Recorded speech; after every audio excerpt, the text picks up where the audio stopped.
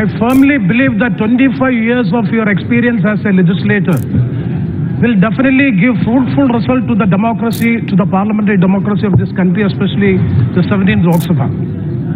Sir, my humble suggestion before you that the speaker has a very important role in protecting the democratic rights of the members of the opposition so as to have a healthy democracy in our country. And this Lok Sabha, this house has a long tradition of having, respecting and recognizing the sentiments of the opposition members. That is a long, long cherished tradition of our house. I would like to quote Pandit Jawaharlal Nehru as rightly Mr. Pinaki Misra has quoted the rest of it. Sir, I quote, the speaker represents the house. It is a famous quote of Pandit Jawaharlal Nehru. He, she represents the dignity of the house, the freedom of the house, and because the house represents the nation. In a particular way, the speaker becomes symbol of the nation's freedom and liberty. Therefore, that should be an honored position. The free position and should be occupied always by persons of outstanding ability and impartiality, unquote. Sir, I hope that definitely the chair held by your good office, definitely you will be able to have an impartial manner.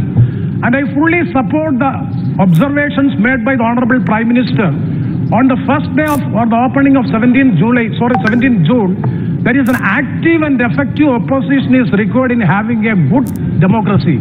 We fully support, we will be very active, we will be very effective, but we appeal to the government. Last session in the 16th Lok Sabha, I have moved more than 500 amendments, but none of the amendments have been accepted or recognized or received by the government.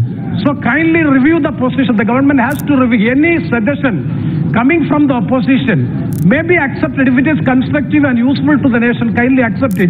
Such a constructive mechanism has to be taken up by the government and it's in the 17th Lok Sabha. And also, I would like to conclude with, facilita- with, felicitations with another suggestion. So regarding the Dr. Murli Manohar Joshi has added by a panel, parliamentary pay panel. As per Article 98.2, we have to maintain the independence of Parliament. In order to have the independence of the Parliament, there is a suggestion to have an urgent legislation to regulate the recruitment of the staff of the Parliament. That is pending law.